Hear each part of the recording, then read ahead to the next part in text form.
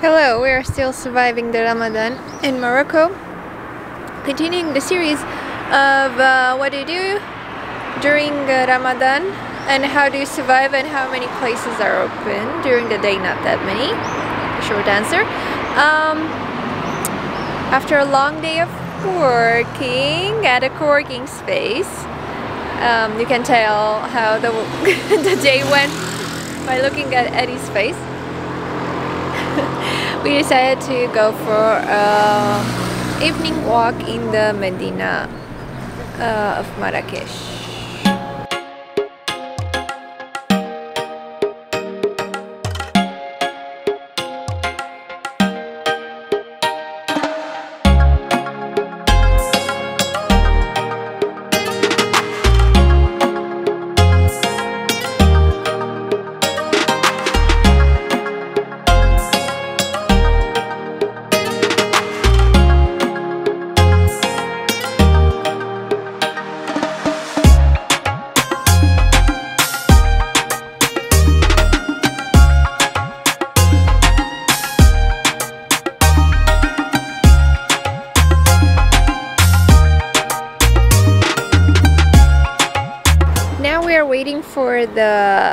Bus to take us to the Medina. There's a bus right next to our uh, building and um, once the bus arrives we should get to the center in about 15 minutes, something like that. But as you can see at this point, um, it's around 7 p.m. and this is when iftar happens, which is actually the fourth prayer of the day and the moment the uh, people, the locals break their fast during Ramadan. And everybody is basically uh, at dinner right now. So I just want to show you the street. Not a lot happening. I mean there are some cars but like usually it's pretty busy area uh, so yeah. And we are waiting for the bus and uh, we are still confused if the bus is uh, coming or not. We don't know. The taxi wouldn't stop. Huh? The taxi wouldn't stop. The taxi wouldn't stop. Yeah, we're still waiting for the bus. I'll keep you updated.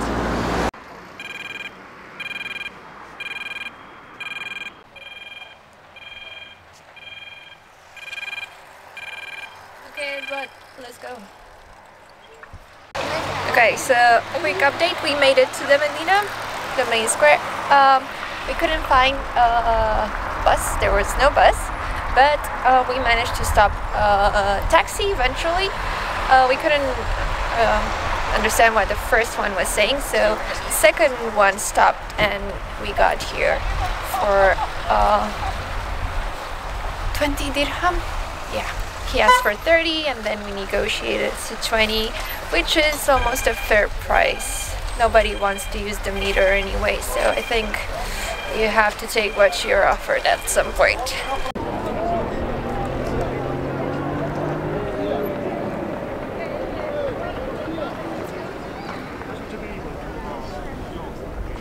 Although we've been here before during the evening in the main square in the Medina, uh, I don't think I actually filmed this, so today we're gonna document this walk.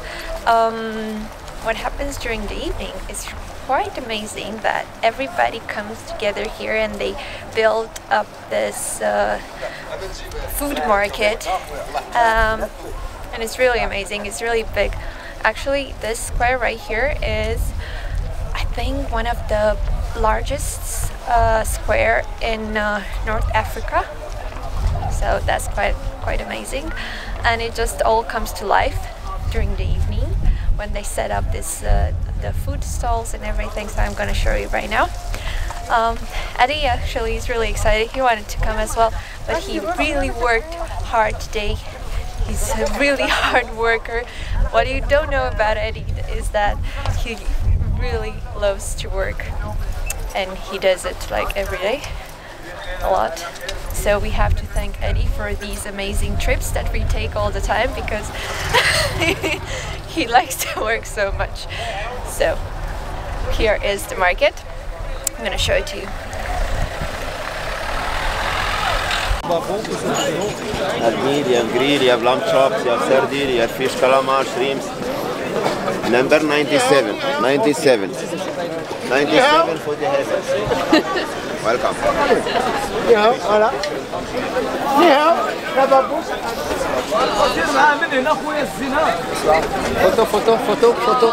No عندك هذا التيشير شوف تيشير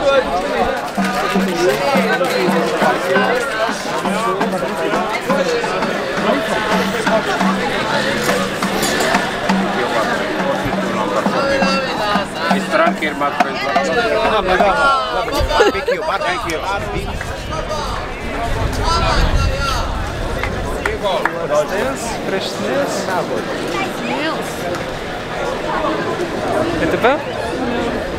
As we arrived, Eddie drew all the attention of the vendors. And basically, a bunch of them started to um, advertise their food. to Eddie, and Eddie was just ignoring all of them. No, no, I, I talked to them, but uh, I, uh, I don't know if I'm taking my chances tonight. Uh, yeah. So we're gonna go for a walk, but probably the camera is gonna attract a lot of uh, attention. That's why uh, I didn't want to bring my camera, but we have to do it at least once. Have my mic on. People usually find really attractive. They want to know what it is. So here we go through the food stalls in the main square in Marrakesh. Oh my God! And Eddie, of course, he looks like he has a lot of money. so let's go. Please lead the way. What, what do you want to see first?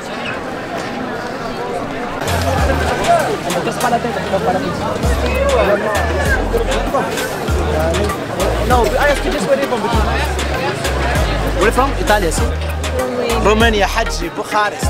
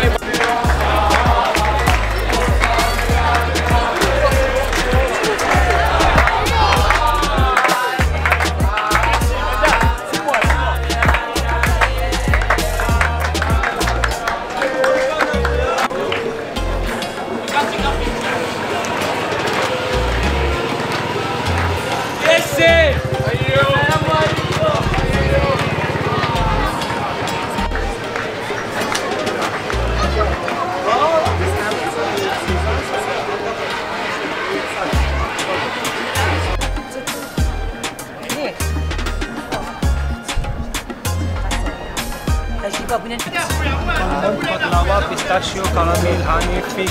After this, number number seven. We have Number a seven. picture. Number seven is the best. Okay, promise. See you later. Big welcome. Fig.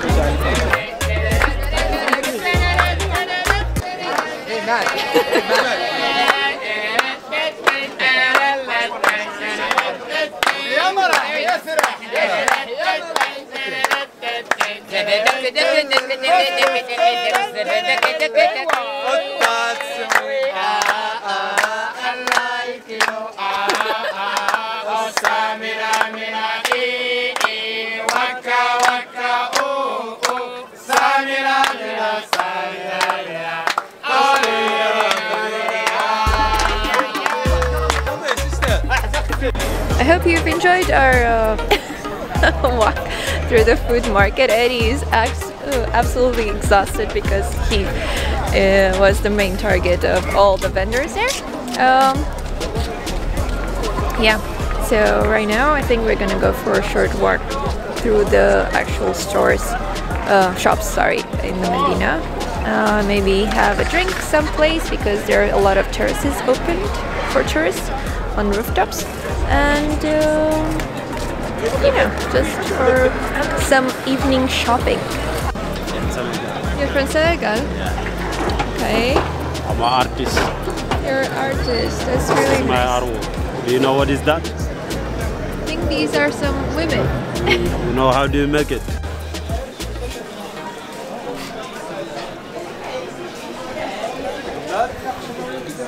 Nice one. Pixel free. With Morocco, with English. Check it out. With English, with Morocco. Speak. You, look, camera. One. Ah, no. Good price. Picture free lady. Here is Adidas. How much is it? Which one? You have Jilaba or Gandora? Which one, brother? How much is the grade? It's big, yeah, big. That one? That, little, little, yellow. Here. here's the color. You for lady? Very. For lady. Saadi just experienced uh, his first uh, weird sale. Uh, like this guy wanted to sell him like this uh, traditional American um, dress for guys. I just went because I understood he wanted to sell me drugs.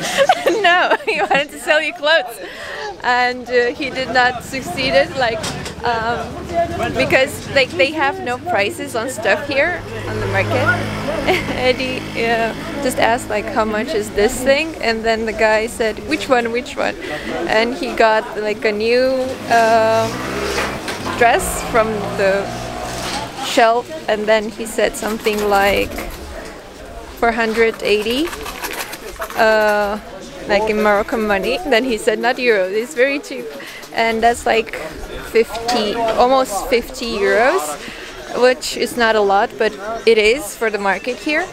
And then I just said to the guy, you know, we're from Romania, so basically our prices there is like the same as here in Morocco, so we are not really uh, rich. And then he just settled and he said, okay, okay, Romania, and then he went away. so basically, I saved you. Poverty saved me here. and apparently I'm Alibaba. So all my friends, I'm Alibaba.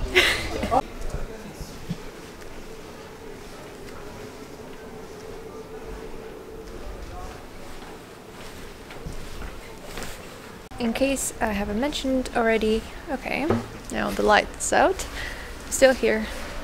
Uh, basically, the Medina is this uh, huge maze of uh, narrow uh, alleys and streets uh, where you have shops and restaurants everywhere. Basically, these streets are too narrow for cars to drive around, but they have a bunch of scooters and uh, rickshaws and other tiny mopeds and such.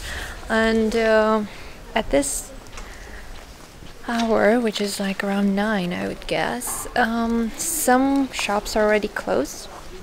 Now we are in this weird alley, but some shops are still open. Um, a lot of tourists are just uh, walking around, just looking at stuff, and everybody's just hoping to sell you something. I just realized that the dress that the guy was trying to sell to Eddie was a dress for the, the guys, like traditional Moroccan uh, outfit for a man. It was like three times more or something. Yeah. Luckily, Eddie didn't fall for it because he doesn't need a dress. Because it's cheap. This is Let's go so it's another. Now Eddie is in charge with the map because I have no more internet. Uh, we have basically no idea. We need to go back, explore a bit, some more, and then go back to sleep because tomorrow we have very early uh, start. We plan to take a eight-hour train for a weekend trip to Tangier. Yeah.